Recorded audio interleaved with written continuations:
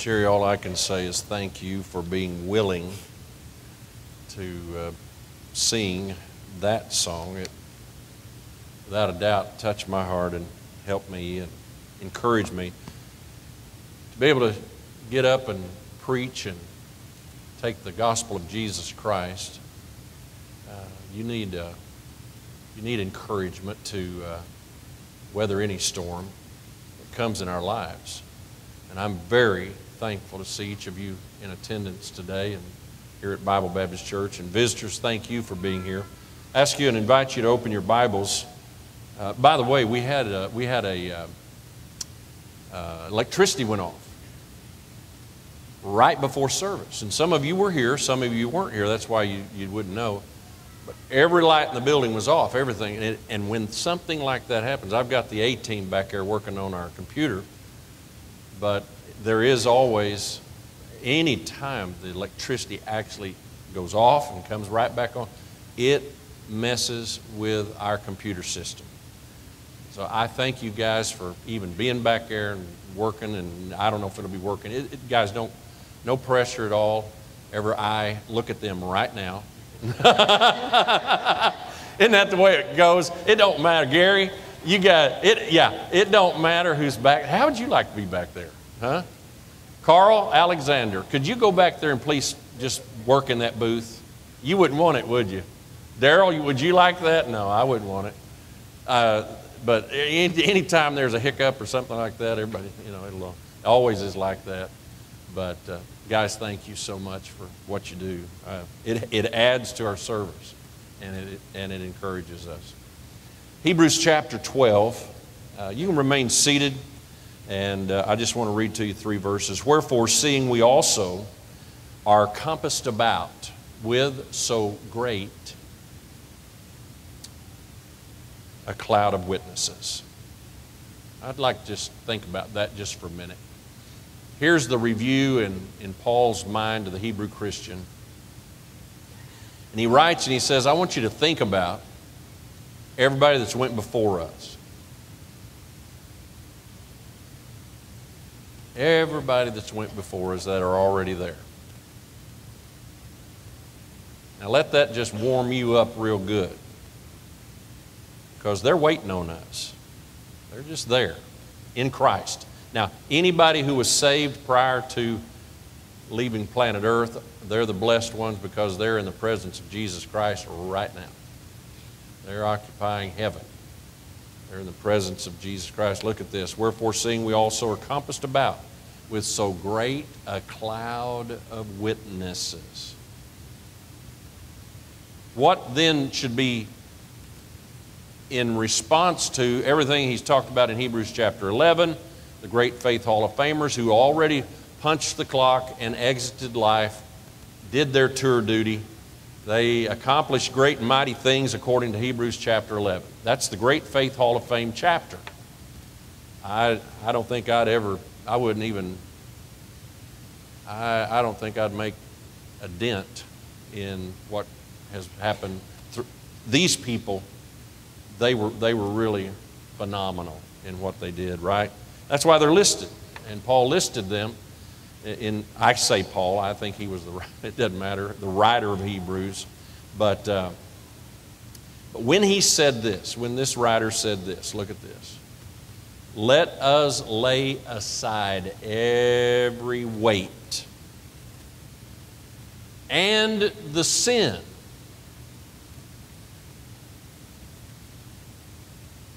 Did you notice it said sin singular? There is a sin he's, he's referencing here.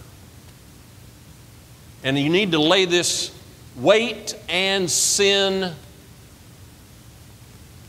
lay away, lay aside the weight and the sin, which easily, it does so easily beset us. We're all vulnerable, but that, I believe that sin, that singular sin he's referencing, is the sin of unbelief. In other words, the opposite of faith. Without faith, you cannot what? Please God. This is a faith journey.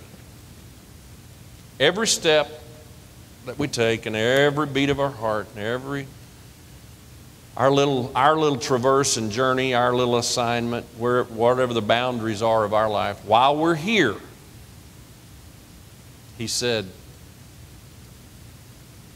he said, lay aside the, the weight and the sin.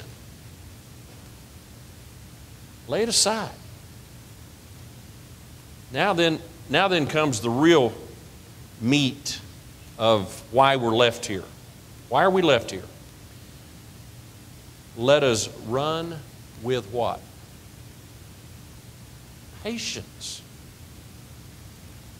You know, this is, an, this is a marathon, not a sprint. This is, a, this is a, a an all out effort. We should be all in. But everybody in the room needs this focus. Everybody in the room needs to be running. This is what the Lord's done in my heart this week. I got a reset.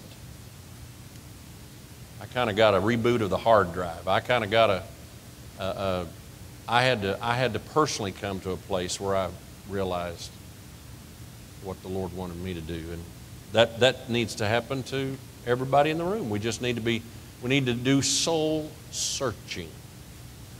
Search our soul. Search our hearts before the Lord. So what does he say? Run with patience the race that is set before us. Christians have a race to run. It's a life race. It's a race. What, what are we in a, in a race for? Well, I, would say we're in a race for uh, the kingdom of Christ. I think we're, we're left here for an eternal purpose. I don't, is there one more thing we have to do in order to enter into heaven? After our salvation, after you've accepted Christ, is there one is there anything left to do on our part? The answer is no. It's all done. It's finished. It's complete.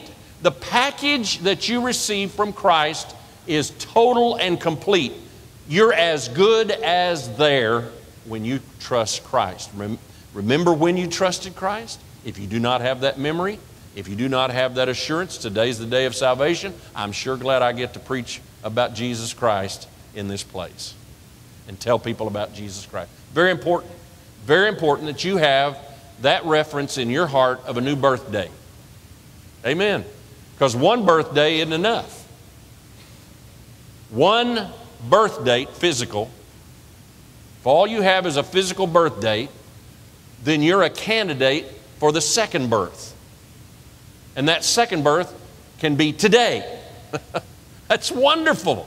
It's good news for everybody. But so here's, here's some writing right here to the Christian heart, to the person that's already been saved, and it, and it helps bring into very sharp focus why we're left here after our salvation.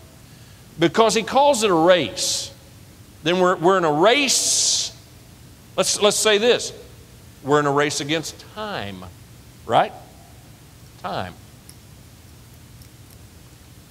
Hmm, how much more time you got? how much more time do you have? You got it planned out? You think you got it? You got it pretty well in mind. Can I? Um, can I talk to you? And Natalie, do you guys? Do you think it'd be okay to talk about JW? Because we love that guy. This week, one of our dear brothers, J.W. Freeney, found out he has cancer uh, of the pancreas, pancreatic cancer. Well, do you know that they actually, I, I went and visited him two times, and I saw Nat over there, a dear friend of Gala, and, and it's a hard time for the family, but I, I have been so encouraged when I sat down and talked with J.W. Freeney at his hospital bed, the doctors have told him he has six months.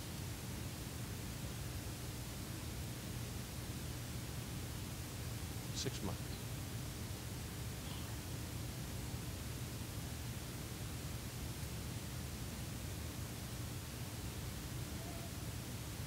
Clock's ticking, isn't it? Now, the doctor hadn't told you you have six months.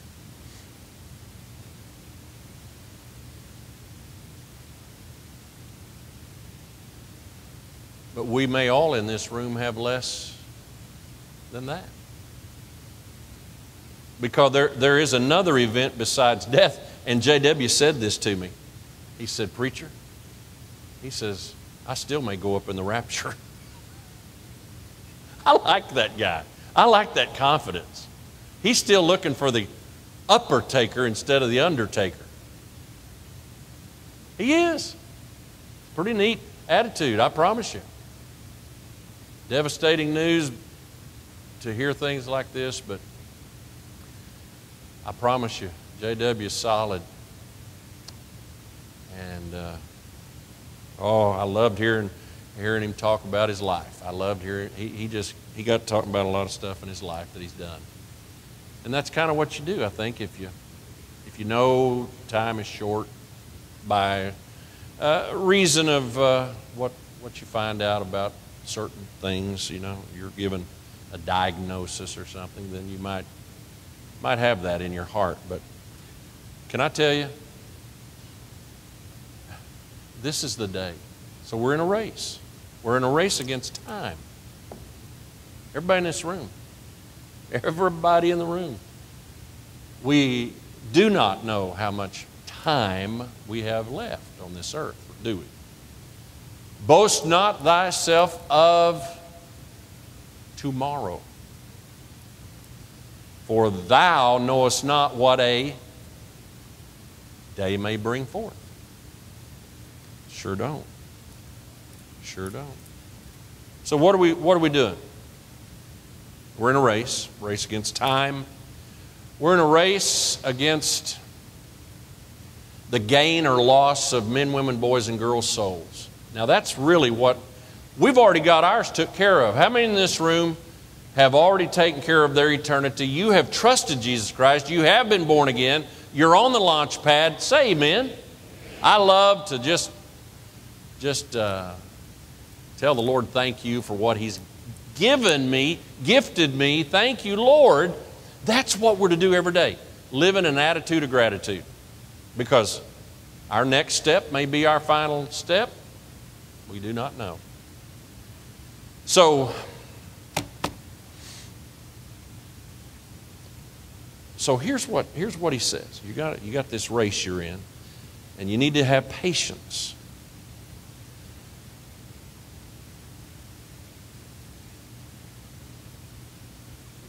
Let that soak in a minute. It sure has with me this week.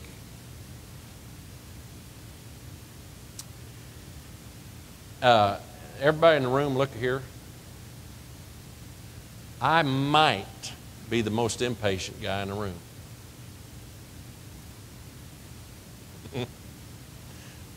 Montez pointed at Cabo. Cabo, we're in a tie, okay? we're, in a, we're in a tie. Sometimes that patience, you know, I, I, I, don't know if it has to do with, uh, and I'm real young still, okay? I'm, now you ask these guys on this, this, sec, this third pew right here, they're looking at me like, say what? You say you're young? I guarantee you they are. they got the rest of their life ahead of them, man. But they, they look at a guy like me and, and hear that and they'll, I was like that. Guys, I was like that. I'd hear somebody say that and I'd go, man, you're just old. you, you don't, you, you're losing it or something. You don't realize. And the, and the disconnect on age, you know. But I, can I tell y'all, and you'll remember this the rest of your life?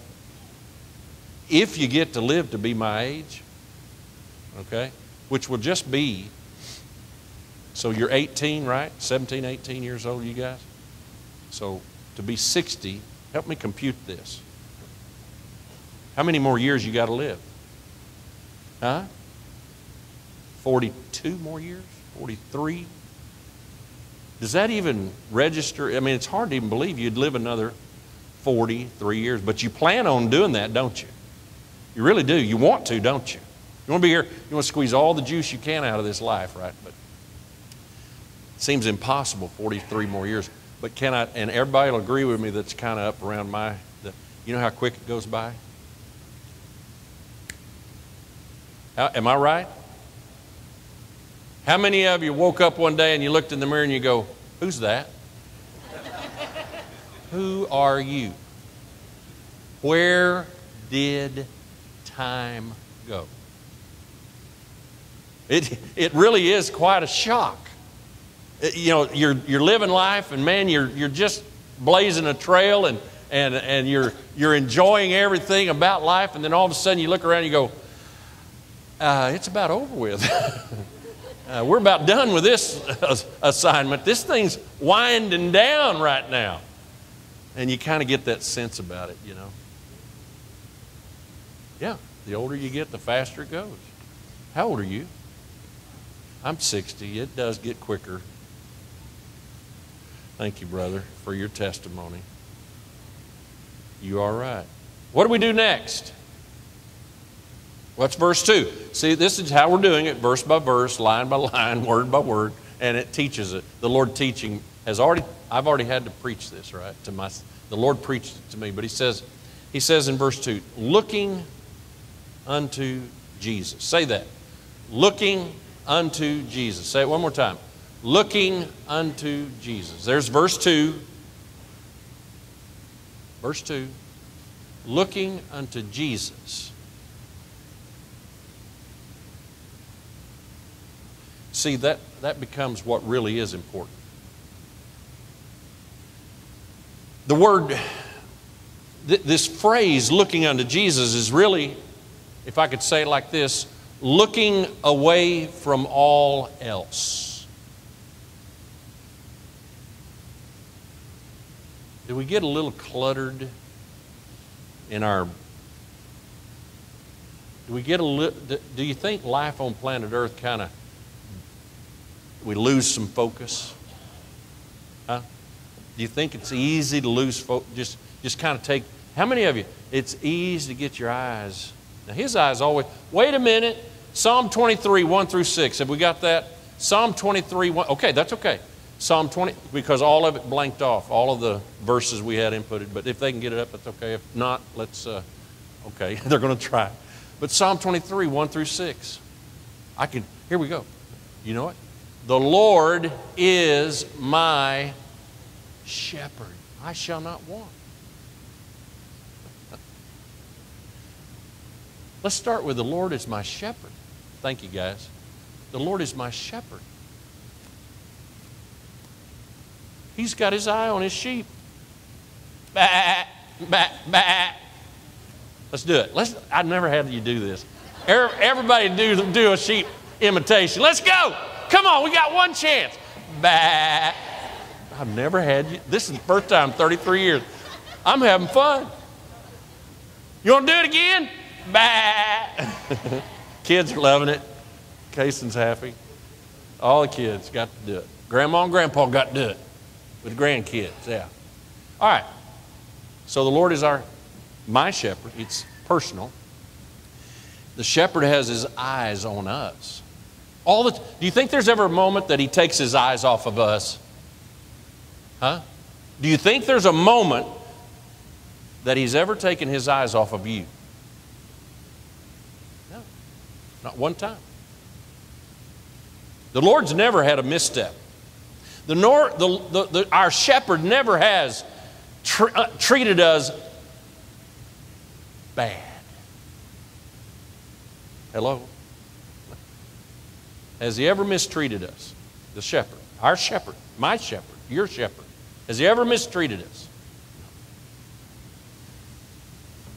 No. He's too good. Can you go to that verse 2? I don't know if it's okay, good. He maketh me to lie down in what? Green path. He provides the best. Oh, listen. Let me brag on our shepherd. Let me brag on our shepherd. He has the best for his sheep. Can you imagine? Green. Now, sheep probably don't appreciate as much as they should the pasture that they have green pasture. By the way, there's water there. Huh? There's water. He provides everything. He gives everything that we need to us. And, and notice what else he does. He says, He maketh me to lie down. Now, if a sheep is going to lie down, that means it must be, they've got it pretty good. And he's taken care of them. And they've eaten and they've got that, and, and he, they've got still water. That, water is, is just as yeah, it's just pure and just, and he's got it available 24 7 green pastures and water. What, boy, why gripe as a sheep? We've got the best. Anybody, anybody got a complaint about our shepherd? I'd like, I'd like to say this. really? No, I don't. You don't. There's no way. Verse 3 he restores my soul. Man, you talk about help. this is helping me. I, you know, I don't know if everybody else is getting a blessing, but I'm getting one just reading it. It's sure helping me. He restores my soul. He leadeth me in the paths of what? He's leading. The shepherd's leading in paths of righteousness. He don't lead us in bad places. He leads us in righteousness. And, and by the way, it's for His name's sake. His name's on the line. Yea, though I walk through the valley of the shadow of death. Going to happen. I will what? I'm not going to fear. I'm not going to fear any evil. I've got the great shepherd with me, for thou art with me, with me, with me, with me. Thy rod and thy staff, they comfort me. Thou preparest a table before me in the presence of mine enemies. Thou, he feeds me so well, spiritually. Thou know, and physically. Thou anointest my head with what? Oil. My, everybody say this, my cup runneth over. Is your cup running over? Can you add it all up and say, Thank you, Lord? You, you've sure provided well for me. And then can we, can we go to verse 6 and look at this? This is what's great. This is what's great. Everybody read it. Everybody look at it. Surely goodness and mercy shall what? I, I like saying it like this. I read it out of John Phillips' commentary one time. Dogging our trail all of our journey in our life. Dogging our trail two sure footmen of God. Look at it. Goodness, that's grace, and what? Mercy. Goodness and mercy shall what? Follow me. Where did where'd you go? Where, where are you going? He, well, look behind you. Goodness and mercy shall follow me. How many days? All the days. And then guess how all this ends up? Guess how it all ends up? And I will dwell in the house of the Lord how long?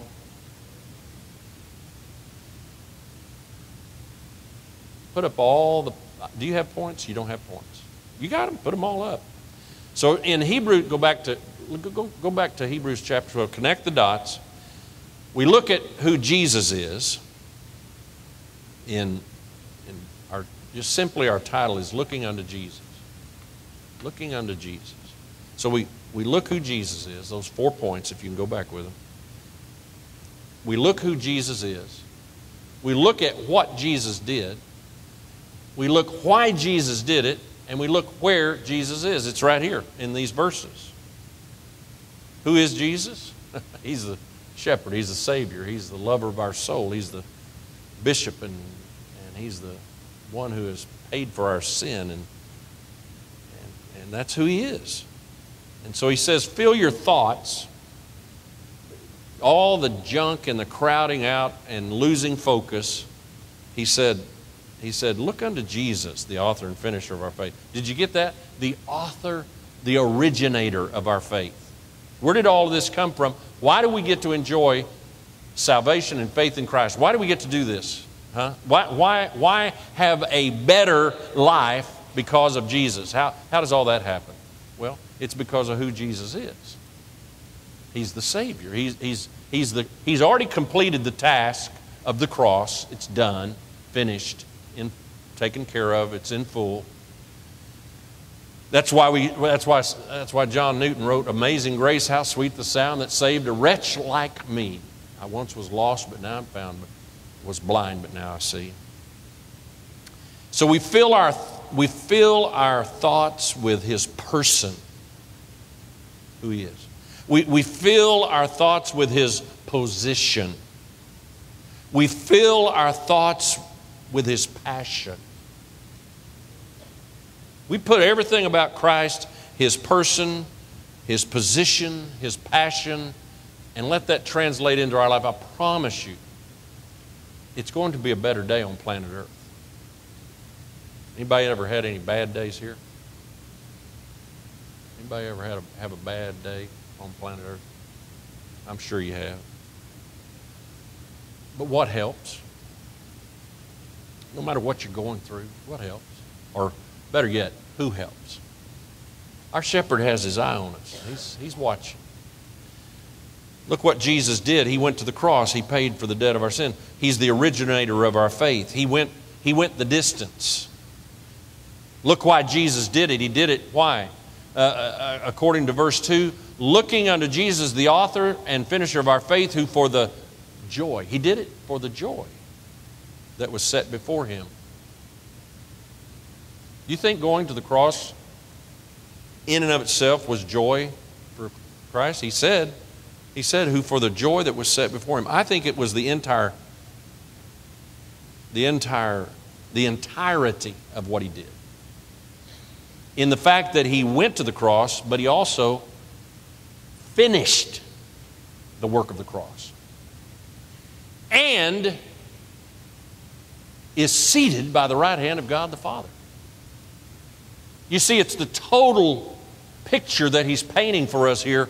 It's not, yes, there's one part of it that, how could, but, but you see, it's the total work that is encompassed in the work of Christ from beginning to end and by the way, it's not over with yet. He still has his eye on it. See, it's an ongoing, it's a, it's a forever deal.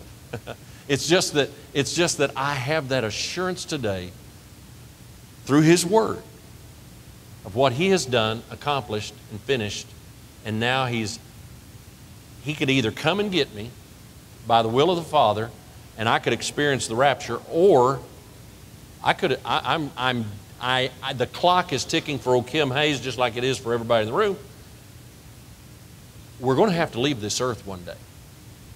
Our mortality. Uh, this, is, this isn't going to last forever. we, we, we know that, don't we? We're pretty, we're pretty uh, temporary. This is called temp help right here. We're, we're just kind of temporarily helping. And uh, if, we, if we can just point people to Jesus and, and try to make a hand here, I, I don't think, I'm looking around the room, I don't think we got a perfect person in here, do we? I don't think we got everybody, I don't think anybody in the room, and by the way, the guy standing up here sure isn't. There's going to be some missteps and mistakes and hiccups and different things that'll happen. You're going to have to put up with me. I'm going to put up with you. I didn't hear an amen. I heard some old me's.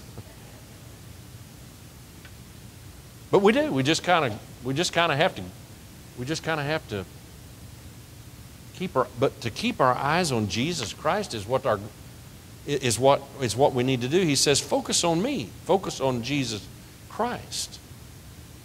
And by the way, as it is completed, this word picture, he says, Who for the joy that was set before him endured the cross. Endured. That's what he did. He endured the cross, despising the shame of the cross Folks, he was crucified naked before the world. The shame of the cross. But now, where is he? Where is he? Where is Jesus? He's sat down at the right hand of the throne of God. Right now, Jesus Christ is seated by the Father. Acts chapter 1 and verse 11, if you can go there. Look at this. Which also said, You men of Galilee, the angel, the angel, when, when Jesus ascended up to be with the right hand, at the right hand of God the Father, he said, the, the angels told those uh, disciples, apostles that were gathered there and watched his ascension, Why stand ye gazing up into heaven? Can you imagine the slack jaw and the. They just watched Jesus leave them.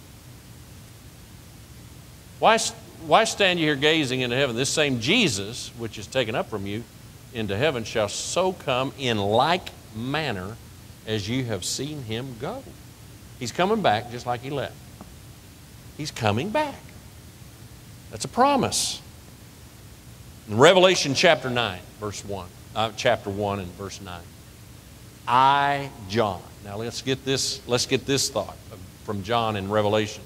I, John, who also am your brother. See, that's the relationship we have, brothers and sisters in Christ on our way to heaven together. Amen. He said, I, John, who also am your brother and companion in tribulation and in the kingdom and patience of Jesus Christ, was in the isle that is called Patmos for the Word of God for the testimony of Jesus Christ. I was in the Spirit on the Lord's day and heard behind me a great voice as of a trumpet saying, I am Alpha and Omega. These are the words of Jesus. I am the Alpha and Omega, the first and the last. And what thou seest, write in a book and send it to the seven churches which are in Asia, unto Ephesus, and unto uh, the rest of the churches. I get to depending on that and don't turn in my own Bible. I, and uh, that's okay. It's good. All right, here we go. back, back up. I think, uh, okay, anyway, I don't know what to do. All the other churches. It's okay. The point being, he said, I turned to see the voice. Saw the seven. He saw all the churches in Asia Minor. And guys, listen, what's, what's important is, do you see Jesus? Are you looking at Jesus? Are you looking something distracting you, something taking away your focus, would you bow your heads just for a moment? Our, our time is, is uh, I feel like that we, we just need time together. But there's a need in this room. Hearts are before the Lord, and you're here today, and you need a fresh look of Jesus Christ. Would you stand with me, please? Father, in Jesus' name, I thank you and I ask you and I pray that, Lord, you'd get control of this service and this time. And just bless as only you can this invitation. In Jesus' name we pray. With our heads bowed, Brother Sean, would you just pray, please? Just pray. Would you just sing while he, we'll pray. We're going to, we're going to pray together today. If you feel the need and sense the need to come, would you do that, please? For salvation, we'll take a Bible and show you how you can be saved. For whatever the Lord's dealing in your heart about. Sean, would you sing? I surrender. I surrender all. I surrender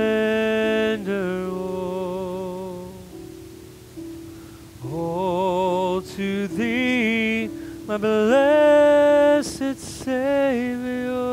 I surrender all, all to Jesus. I surrender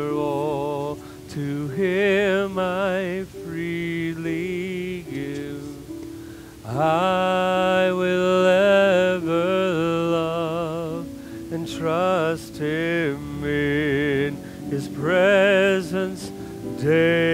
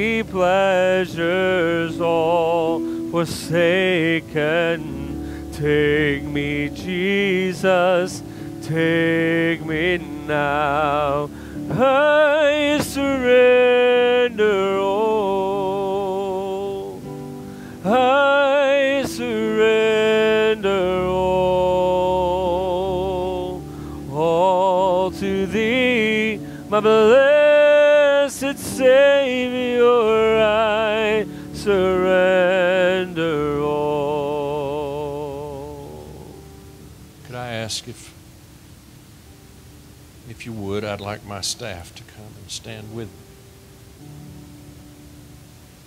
Like my staff and their wives come and stand.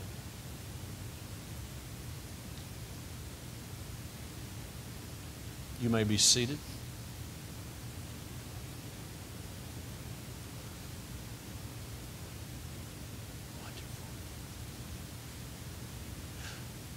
I'm so happy. You guys just stay there for a minute. They look good up there, don't they? You don't mind all.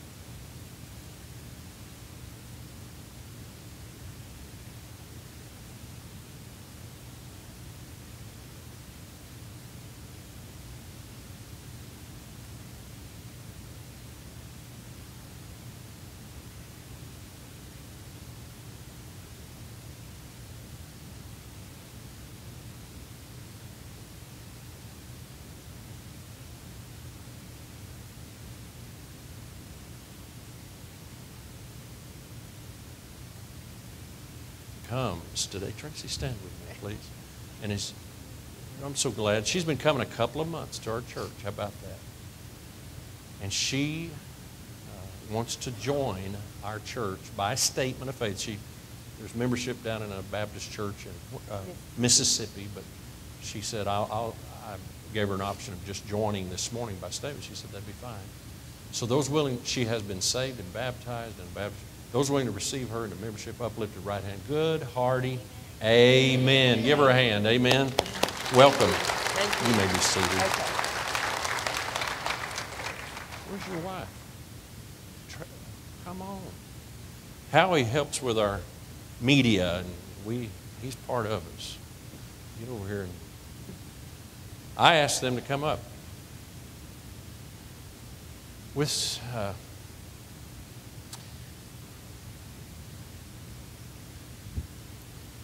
we we uh, we need your prayers. That's all I can ask is for our church family to pray and stand with us. We want to do God's will here at Bible Baptist Church. We have recently, in the last two to three weeks, guys, we went through some things that have gotten public. It's just personal, personnel and personal matters but things began to. I think the devil wanted some fuel, so he got it. And I want you to know I, I have been part of, and I apologize to my church family first, the Lord first, my wife and family, and I apologize to Sean and Susan and Dave and Pam and all the staff because sometimes even the leadership I may give is faulted or flawed. Ultimately, I want to continue to be your pastor I did on Thursday of this week offer my resignation if that would help the situation. And it was pushed back in my face by your trustees and deacons. We had a deacons and trustees meeting on uh, this week, and uh, I just went through a personal uh, time in my heart and life to know, and it was it was not uh, something that I had. Uh, it was just a reaction, but my men, guys, you're gold to me, and your words of wisdom. I, there's men in this church that I went to, and were part of a conversation with me to, to just simply bring me into some good focus. And I want to publicly tell you thank you for that. But, um, you know, every once in a while we need a little stirring around this place, and I, I didn't want to create it.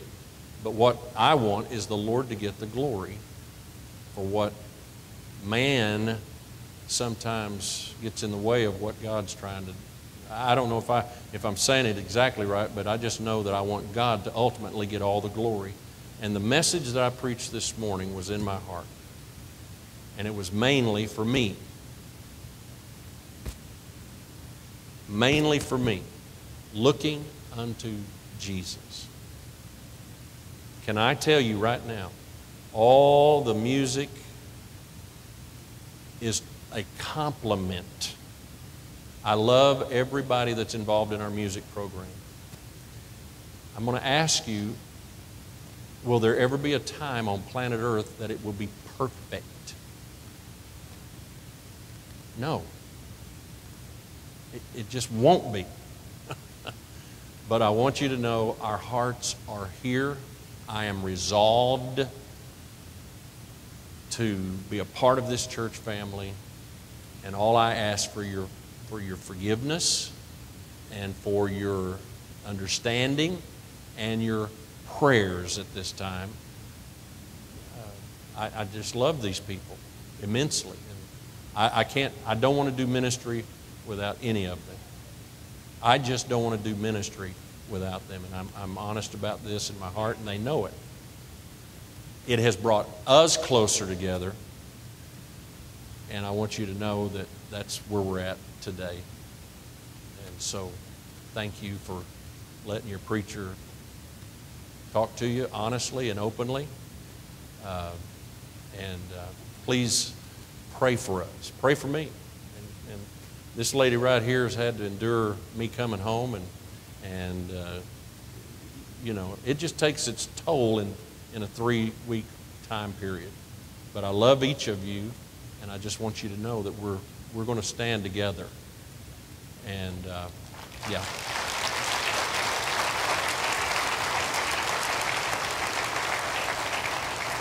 Dave, Dave, would you uh, would you lead us in dismissal prayer?